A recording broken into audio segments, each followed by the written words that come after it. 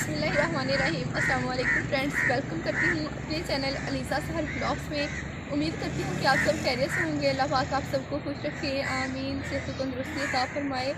और आज मैं आई हूँ बाहर सैर तफरी के लिए। सर्दी का मौसम है, बहुत ही प्यारा सा, ठंडा ठंडा सा। सर्दी तो बहुत ज़्यादा है और इधर का थोड़ा सा आपको विज़िट करवाती हूँ। यहाँ पे लोग सैर तफरी के लिए भी आए हुए हैं। और इधर थोड़ा सा आपको थोड़ा सा इधर का माहौल भी दिखाते हैं। और यहाँ पे ना लोग सैर तफरी के लिए आए हुए हैं और पानी जो है इधर का हमारी जो दरिया है, इधर का खुश्क हुआ है, हेड हेड इस्लाम का। हालाँकि पहले इधर का पानी, इधर ना पानी बहुत ज़्यादा होता है, बहाव पानी का बहुत ज़्यादा होता है और पानी इतना ज़्यादा खुश्क हुआ है कि यहाँ पे कश्ती नहीं बैठ सकती, लेकिन वो देखें, इधर बोट जो है अभी चली है और कम है पानी तो इतनी अच्छी तरीके से नहीं चलेगी और थोड़ा सा आपको इधर का थोड़ा सा और माहौल दिखाते हैं।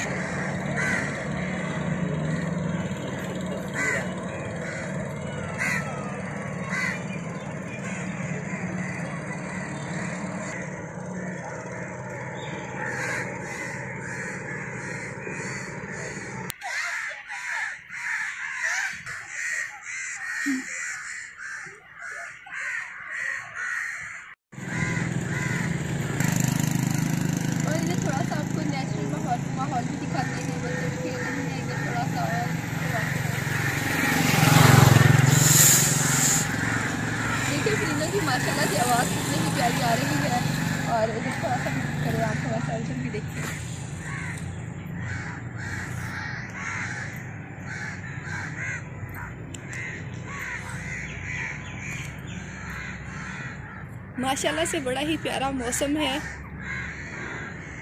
सर्दी तो इतनी ज़्यादा है ना कि पूछो ही ना।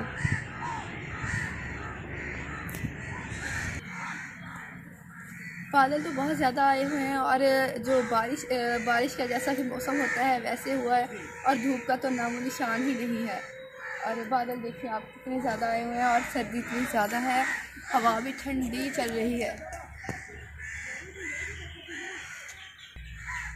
अब आप कमेंट में ज़रूर बताइएगा कि आपके यहाँ मौसम कैसा है? बर्फ़बारी हो रही है या फिर धूप निकली है? आज कैसा मौसम है? हमारे तो बहुत ज़्यादा ठंड है। अगर ठंड ना भी हो, ठंड कम भी हो तो जब ठंडी हवा चलती है, तब सर्दी बहुत ज़्यादा लगती है और इस मौसम में जो है, सफ़र करना बहुत ही ज़्यादा मुश्किल होता है।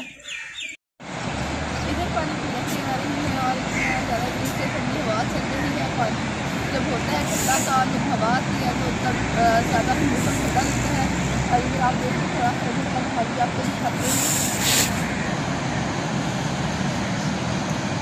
से की आवाज़ प्यारी आ रही है और प्यारा है। और आप आप कमेंट में ज़रूर बताइएगा कि इस मौसम में मछली किस किस ने खाई है और कौन मछली जो है, किसी किसी ने नहीं खाई। अगर नहीं खाई तो आप भी ज़रूर खाइएगा क्योंकि इस मौसम में जो है मछली का अपनी मछली खाने का अपना ही एक मज़ा है। बहुत मज़ेदार लगती है मछली मौसम में। हर चीज़ मौसम के हिसाब से हमें खानी चाहिए और मौसम के हिसाब से ये जो सब सब जो सब्ज़ी वगैरह होती है, सब जो सारा कुछ हमें मौसम के हिसाब से सारा कुछ हमें ज़रूर खाना चाहिए।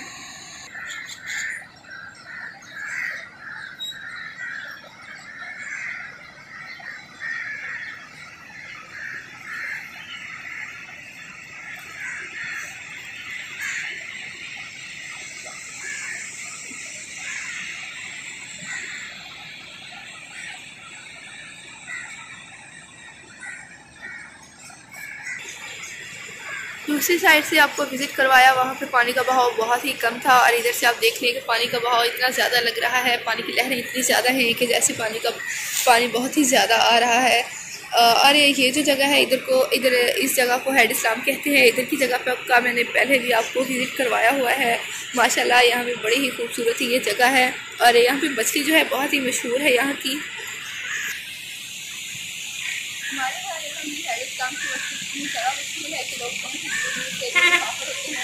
यहाँ की मछली करने आते हैं और मछली जो है यहाँ बहुत ही दूर दूर तक जाती है और जो मुसाफर हैं उनको यहाँ की खुशबू है चाहती है कि यहाँ पे मछली खाने खाने पर जो है लोग मजबूर हो जाते हैं मछली खाने नहीं जाते और इस मौसम में कौन भला मछली खाना नहीं चाहेगा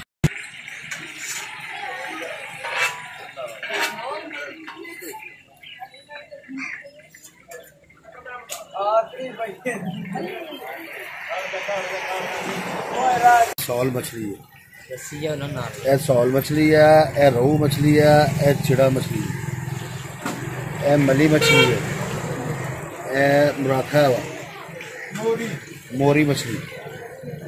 रेट मारे ए सौल। रेट रेट किया ए, ए जी सोलह सौ रुपए किलो। ए चिड़ा मछली है तीन सौ रुपए किलो। भैरव पिया वा साढ़े तीन सौ रुपए की ऐ सिंगारी पई आ एक हज़ार पंजाह रुपए की ऐ वाली। ऐ आ चार सौ रुपए किलो ऐ पई आ पाँच सौ रुपए किलो मोरी दरिया की ऐ कैट फ़िश पई। ऐ कैट आ हमारे यहाँ जो है इस्लाम पे मशहूर मछली है वो कैसे बनाई जाती है वो आपके साथ तरीका शेयर करते हैं। सबसे पहले मछली को इस तरीके से साफ़ कर लिया जाता है और इसको काट लिया जाता है। मसाले लगाकर मछली को मैरिनेशन के लिए रख दिया जाता है और बाद में बेसन लगा के फ्राई कर लिया जाता है।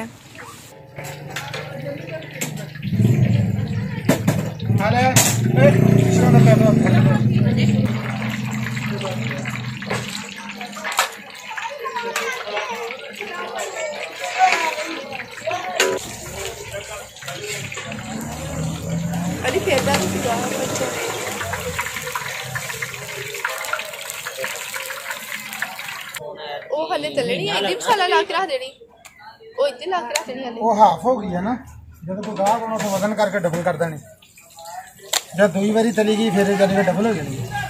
ਵਜ਼ਨ ਡਬਲ ਹੋ ਜਾਣਾ ਜਿੱਦਾਂ ਪਹਿਲੀ ਬਾਤ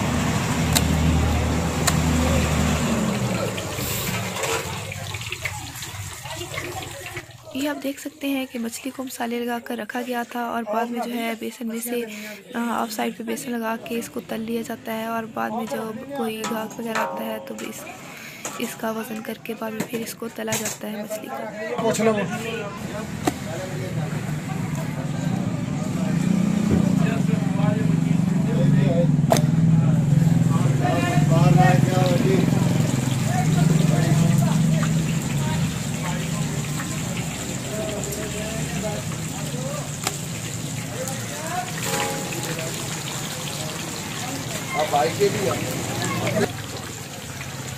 हमारा अगर आज का ब्लॉग अच्छा लगा है तो लाइक कमेंट में ज़रूर बताइएगा और हमारे चैनल को सब्सक्राइब कीजिएगा। साथ में बेल आइकॉन है, उसको भी ज़रूर प्रेस कीजिएगा। मिलते हैं ऐसे ही प्यारी प्यारी वीडियोस के साथ और आपकी प्यारी प्यारी दुआओं के साथ।